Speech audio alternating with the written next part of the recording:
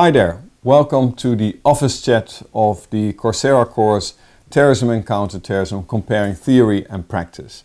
In this video I will look back what has happened this summer, the summer of 2017. And unfortunately, uh, reflecting or looking back at the last uh, couple of weeks, um, the things that immediately come to mind are the number of attacks, especially attacks in Africa and other parts of the world and an attack in Europe. Let's first move to um, uh, parts of Africa that have seen bloodshed.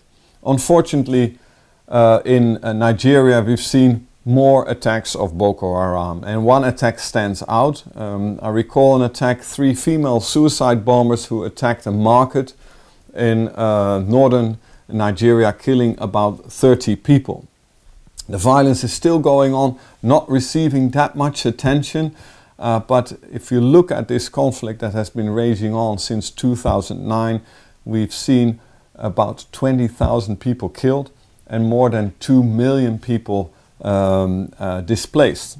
And it's still going on. Also in Western Africa, Burkina Faso, we've seen an attack. 18 people were killed an in an attack on a Turkish restaurant that was visited by a lot of tourists. I think uh, people from eight different countries were, were killed.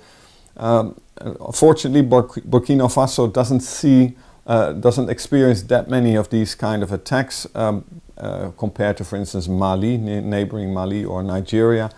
Uh, but uh, a number of experts are worried that we will see more attacks in that country, partly because of its support to uh, the, the French military intervention in Mali. Then in the Philippines, we've seen uh, a lot of uh, violence uh, by groups, former groups that have been active in the southern part of the Philips, Philippines for a long time, Abu Sayyaf, but also now partly operating under the name Islamic State. Now, of course, there has been a lot of violence in the wider Middle East.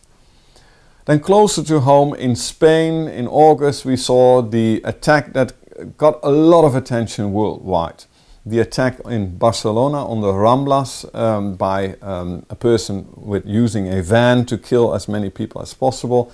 We saw uh, another attack a little bit later in a, a seaside resort, a seaside town, Cambrils, um, and an attack that came that apparently um, the idea was to kill far more people with a more sophisticated attack using bombs. But the bomb making factory exploded uh, a day before and then the perpetrators decided to do this. It received enormous attention in Spain, in other parts of the world. Uh, I, I, recall a, uh, a, message, probably a SMS or, or a Twitter uh, message uh, by the US president. A lot of people were thinking about uh, the general public in, in Spain that had to, was again confronted with a terrorist attack in Barcelona itself, people went on the streets uh, in, a, in a march um, to protest against terrorism. Tens of thousands of people shouting, sorry for my uh, Catalan, no tinc por, so I have no fear. People stood up and, and people uh, tried to go back to business as soon as possible. Uh, I um, remember a num number of people saying, well, the best thing you can do uh, for us is visit our place, come back, you know, walk on the Ramblas, Let's get back to business as soon as possible. Let's not give terrorists what they want. Nonetheless, um, there, uh, also in the Netherlands, we've seen a lot of people um, saying, I've seen too much uh, uh, attention for this terrorist attack. Um, it's, it's, I'm getting tired of it. Uh, this is the new normal. Why are we talking so much about terrorism? And this is among experts, among um, uh, representatives of the media, the politics, the general public. Are we not giving terrorists too much attention? And I would be very interested to hear your opinion. Uh, perhaps um, one part is, are we not giving too much attention to attacks in the West, killing 16 people, uh, injuring, uh, uh, many people were injured, it's 16 too many, but at the same time we see so many vic uh, victims in other parts of the world. So do you think is that balance? What, what's your opinion about that?